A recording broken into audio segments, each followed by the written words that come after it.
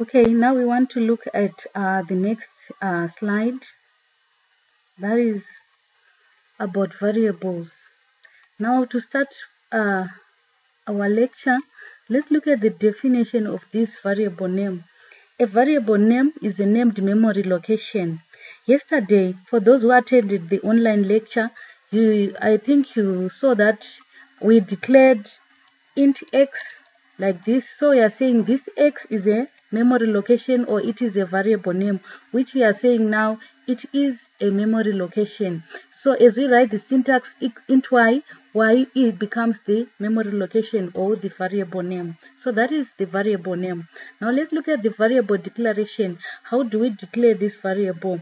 So the syntax of declaring variable is int is representing the data type while the uh, the x is representing the variable name. So that is how we declare our variable uh, our our variable. So don't forget again to put a termination as well after declaring your variable so that remember we said we use the variable name normally inside the the scanf uh, command. Inside the brackets inside the parentheses we can also use the variable name. So now how do we declare this variable?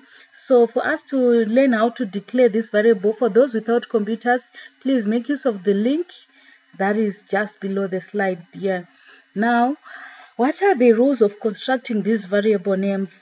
Okay so we are saying rule number one the variables can have any combination of 1 to 31 alphabets. So you are allowed to have uh, up to 31 alphabets from 1 so you start from maybe you've got x is the variable name that is one alphabetical letter up to 31 alphabets or it can be have uh, digits or underscores. So we are saying uh, I have given an example of prim 2189 with underscores. So I have included the underscores, the alphabetical letters, as well as the digits. So you can declare that as your variable name. So rule number two, the first character of the variable name must be an alphabetical or an underscore. So you're not, you're not allowed to uh, start with a digit in other words, you're only uh, allowed to start with an alphabetical letter or an underscore. Rule number three, no commas or blanks are allowed within a variable name. So if you want to write, declare, you want to talk about your first program, you say int my first program. So you are not allowed to put uh, later uh, spaces in between the uh, the variable name. Then lastly, no special symbols other than an underscore can be used on a variable. In as much as you would like to use the hashtag or the percentage, it's not allowed. You are only allowed to use the underscore as a special symbol. So that is, those are the rules that we need to follow as we uh, declare our variables. Now, if we go back to the screen, you'll see that I can declare int my first program and I'll put the underscore and I'll terminate like this. In other words, I'm simply saying this is one thing with uh, alphabetical letters with an underscore and digits. So this is an example of uh, declaring a variable. Or you can simply say int x as the variable name. So it's up to you to decide, but make sure as you uh, declare variables, you follow all the rules that we've learned. Now, the other thing that we need to look at practically, I'm not going to talk about the getch. You're going to read this, but um, oh, I'm going to talk about the comments. Ah, just like human beings, comments are also important in C programming. I'm sure you also enjoy uh, good comments from your colleagues so we need also to comment our program as we write it.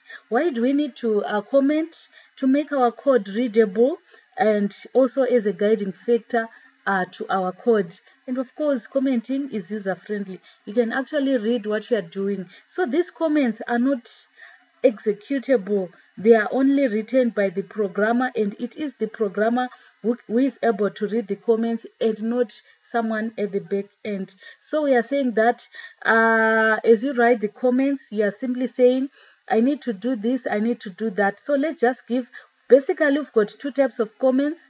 We've got the multiple line comments where we are saying how do we write these multiple line comments? We put the forward slash and an asterisk and we close with a forward slash and an asterisk.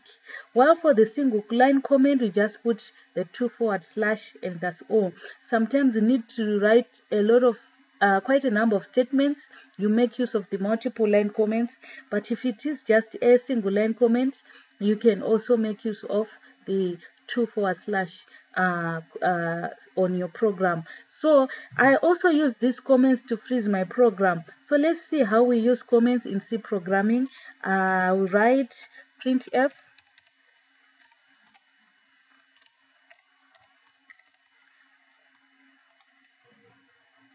enter number and I terminate like this and I'll say scanf for those who attended the lecture yesterday I'm sure you now understand what we are doing by now. And we put uh, the ampersand. And I said X like this. And I, I, I terminate.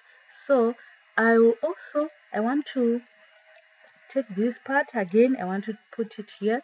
But this time I will say enter number 2 and I will say Y but as you can see on my program I I didn't declare the y. so for me I will just put an uh, maybe before uh, that let me declare it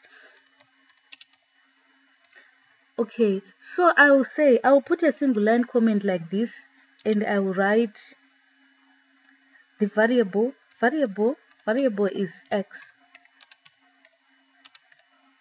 and I'll also comment int is a data type something like this. So this is a comment.